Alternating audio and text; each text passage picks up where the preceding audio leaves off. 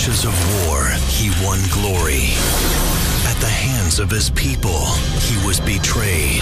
You are a traitor to the people. In the arms of an enemy, he will claim vengeance. Academy Award nominee Ralph Fiennes, Gerard Butler, Academy Award winner Vanessa Redgrave, Make you a fool of me! Corey Coriolanus. Rated R.